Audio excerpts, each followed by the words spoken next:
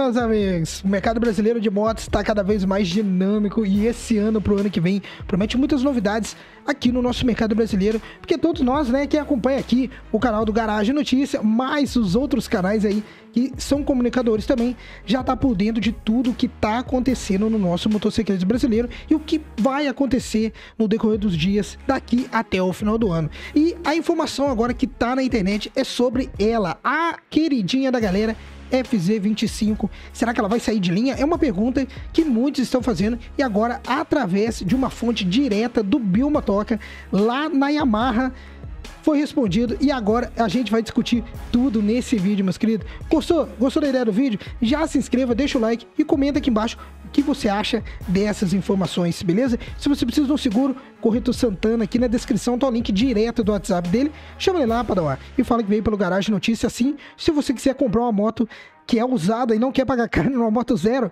Max Motos também tá aqui na descrição, beleza? Bora lá. Bom, antes da gente começar a falar tudo, o que foi discutido hoje pela manhã através do canal do Bill é referente à FZ25, né? Uma moto que é querida por muitos aqui no Brasil e faz um grande sucesso. Vale lembrar que a FZ25 é uma moto que, decorrente à sua concorrente principal aqui no Brasil, que é a CB300, é uma moto bem mais defasada em questão de fecha técnica e também, né, é, inúmeros fatores que deixa a FZ25 atrás da CB300. Mas, mesmo assim, uma moto sendo mais defasada que a outra, ela ainda está emplacando horrores. E no mês passado, em março, vou colocar um print aí na tela para vocês verem, em março, ela conseguiu ficar na frente da CB300. Olha que dado interessante, né? Mesmo a moto estando mais atualizada, ela conseguiu ainda ficar atrás é, de uma moto defasada, por assim dizer. Mas enfim, né? Vale lembrar também que a Honda, né, aqui no Brasil tem quase 1.300 concessionários contra quase, é, quase 600 concessionários da Yamaha. Ou seja, Honda tem mais do que um, um pouco mais que o dobro que a Yamaha aqui no Brasil de alcance em território nacional. Então esses números por si só já é muito impressionante, né? Se a gente parar para E depois de muitas fake news disseminadas, inclusive eu falei com o Bill Motoca através do WhatsApp, ele me mandou uns prints, cara, que é inacreditável, não tem como, gente. A gente não acreditar, porque os caras são. É, são fora, fora de base o nível de criatividade para forjar notícias falsas para enfim, eu não sei se eles têm a intenção de prejudicar primeiramente, mas comenta aí o que, vocês acham. Mas além disso tudo, isso rendeu um contato pro Bill Motoca lá dentro da Yamaha. Então, de tudo, ainda não, não foi só ruim, né? Ele conseguiu um contato lá dentro, após cinco anos de canal, e ele conseguiu levantar essa informação diretamente lá com os cabeças da Yamaha aqui no Brasil e puderam confirmar para ele, né, que a FZ25 permanece firme e forte aqui no Brasil. Então, você que tá na dúvida aí se compra um FZ25 ou não, pode ficar tranquilo que ela não vai sair de linha, tá, Badal? Não vai sair de linha, porque na Índia você sabe que ela saiu de linha, né? Mas a, a FZ25 ela já tava ruim das pernas por lá, só que aqui no Brasil a FZ25 vende muito, então por que, que eles vão vender num produto que tá vendendo não faz sentido nenhum, tá? Então, mesmo assim, é uma dúvida de muitas pessoas aqui pro mercado brasileiro, mas depois dessa última informação, podemos garantir para vocês que ela não vai sair de linha. Em relação a, atualização que virá. Também não temos mais informações, porque esse tipo de pergunta o Bill não fez se vai mudar ou não, mas decorrente às últimas informações que chegou na mídia, ela vai ganhar possivelmente, né, é, ali um, um, facelift de leve. O que, que a gente espera desse facelift de leve, né? Um painel melhor, um painel mais atualizado, né? Um, um painel TFT, né, que faça jus ali. Pelo amor de Deus, esse painelzinho laranja já deu o que tinha que dar, né, Yamaha? Porra, pelo amor de Deus, nem, nem, você não precisa de muito. É só dar uma atualização ali, muda a cor pelo menos, muda a cor, né? A cor pelo menos já, já, já vai agradar. Coloca o sistema de iluminação Full LED nessa moto já de uma vez. Cara, eu não sei que tara é essa que os caras colocam. Farol de LED, lanterna de LED e pisca loja, né? Pelo amor de Deus, já põe todo o conjunto ali de LED. A, a moto já tá cara mesmo. Já coloca ali, né? Que, que custa esse que vai aumentar? Não, pelo amor de Deus. As informações que o Bill recebeu não param por aí, tá? Inclusive, se você quiser ver o vídeo do Bill Motoca, tá aqui na descrição, tá? Depois você dá uma coladinha lá e fala que veio pelo Garagem Notícias. E as informações que o Bill levantou é, le levanta mais uma pulga atrás da orelha da galera. Bom, pelo menos eu, quando assisti o vídeo, eu fiquei, eu fiquei com a pulga atrás da orelha, porque o Lanner Acevedo, que é o contato direto do Bill agora dentro da Yamaha, disse que novidades, novidades e lançamentos chegarão em 2024. Ou seja, não é somente um lançamento que tá para chegar por agora. Todo mundo tá na expectativa da iminência aí da Teneré 700, né? Depois de um easter egg aí que a Yamaha soltou através de um vídeo num sonho de metal. Tomara que não seja o mesmo metal do chassi, né? Do, do chassi da, MT, da, da Lander e também da FZ25. Se for o sonho de metal do chassi, aí lascou. Mas enfim, brincadeiras à parte a gente sabe que está em eminência a Teneré 700 agora, que para mim vai vir esse ano e tem tudo para ser apresentado no Festival de Interlagos.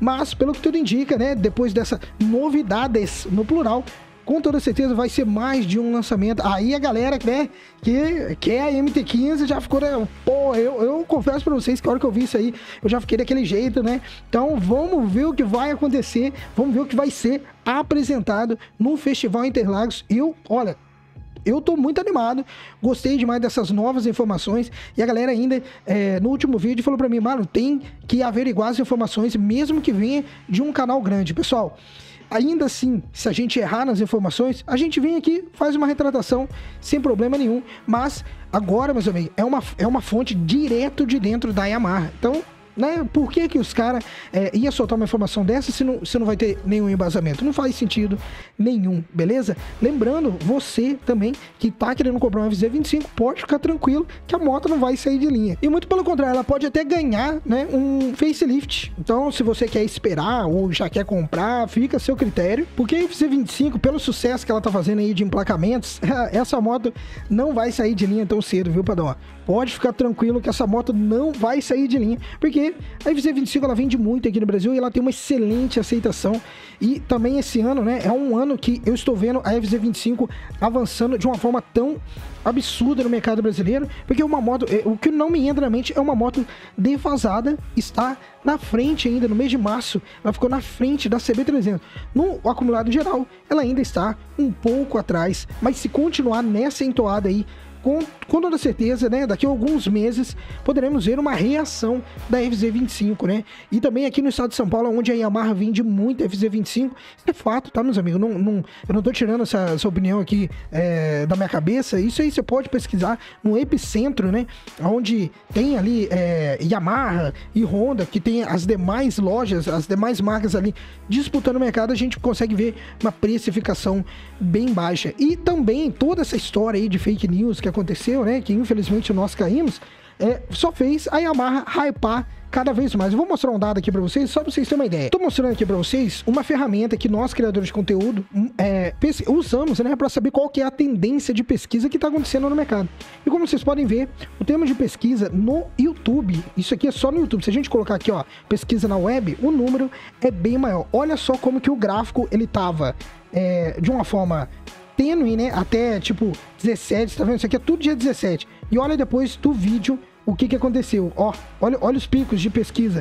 Tá muito alto, tá crescendo de novo. Então a Yamaha ela hypou. Se a gente colocar aqui na pesquisa do YouTube, a gente pode ver números ainda que melhores. Porque olha isso aqui, ó. Tava no dia 17, vindo ali uma pesquisa mais ou menos. E olha agora, olha isso. Olha os picos de pesquisa que deu no dia 18, só para vocês terem uma ideia. Isso aqui mostra pra gente que a Yamaha hypou de novo. Então, mesmo tendo tudo esse, esse tanto de fake news, ainda a Yamaha saiu bem na fita ainda, porque ela tá no hype. E se lançar uma moto por esses dias, aí, meu amigo, o alcance é gigantesco. Mas é isso, pessoal. Essa notícia na hora do almoço. Fica com Deus, vejo vocês no próximo vídeo. E é nóis, meu querido. Tamo junto, beijo no coração e fui.